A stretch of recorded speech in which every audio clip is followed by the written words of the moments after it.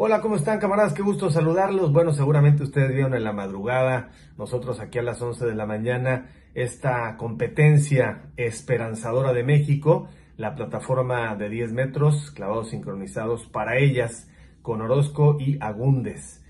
Eh, la realidad es que el resultado está dentro de lo normal, no nos tendría que sorprender. No es una gran decepción, claro que ellas tenían pues, la capacidad, la experiencia como para haberse colocado entre las medallistas. Fueron quinto lugar, que es bueno, bueno a secas, aceptable. Creo que la realidad es que pudieron haber quedado entre el tercer lugar y el sexto, quizás hasta la plata en un buen día.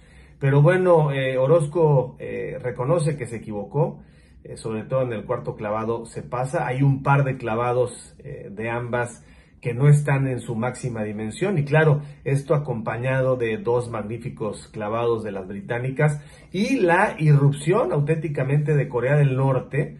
Nadie las tenía en el radar. Primera medalla en la historia para Corea del Norte, no del Sur, en esta especialidad de clavados. O sea, en todas las eh, competencias, en todas las especialidades, en toda la historia, Corea del Norte no había ganado una sola medalla en los clavados. Así es que hay que tener esa consideración para que tengamos el justo equilibrio a la hora de valorar las cosas.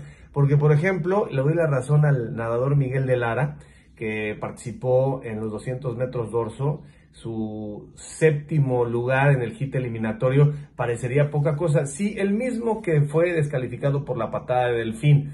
Pero Miguel, eh, a diferencia, por ejemplo, de la tradición, la jerarquía, la inversión, los resultados que traen los clavados históricamente, pues en la natación sabemos que estamos muy rezagados, muy retrasados.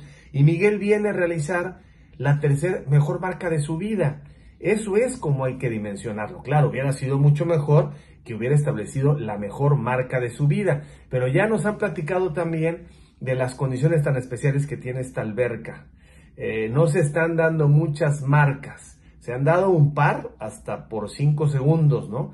Que son extraordinarias, pero en general no son unos juegos que en la alberca se espere por la profundidad, solamente 80 centímetros hacia abajo, que se den grandes récords mundiales y olímpicos. Entonces, Miguel de Lara ha tenido que cerrar sus redes sociales, dice que realmente le afectó mucho, dio algunas explicaciones quizá no pedidas sobre mosquitos y estas cosas que a la gente no le caen bien y de inmediato se le fueron con toda la yugular. Hay que poder diferenciar, hay que ser muy, muy conocedores o cuando menos echarle un vistazo, pues para poder juzgar, ¿no? Eh, el chico de, Gar, de, de badminton, eh, el joven Garrido, pues apenas es la primera presentación de México en toda la historia en el badminton y gana un set solamente. Eso ya es plausible, ya es algo que se debe reconocer. Entonces vamos por, por disciplinas, ¿no? Ustedes pueden sentirse con razón un poco más decepcionados de que no se haya conseguido, por ejemplo, el podio en los clavados sincronizados de hombres. Ahí había más posibilidad y todo es remitirnos a las inercias y a los eh, antecedentes, a la hoja de vida de los dos deportistas mexicanos. En el caso de Orozco y Agúndez, sí, también había esta sensación, pero no como en los varones, de que podían pegarle al podio. Sin embargo, no se puede considerar tampoco una decepción. Sí es cierto que fallaron, sí es cierto que no estuvieron a la altura de su propia capacidad y bueno, por eso terminan en el quinto lugar. Bien pudieron alcanzar el bronce, pero pues aquí no es de contar, sino simplemente de resolver en el momento oportuno y tuvieron ese momento de duda. Es simplemente un detalle el que puede hacer en un clavado la diferencia entre una medalla y la otra y salir del podio. Así es que eh, Orozco, que está en sus últimos juegos, veteranaza, reconoce eh, que no estuvo a la altura y bueno, Agúndez un poco más fría, más concentrada.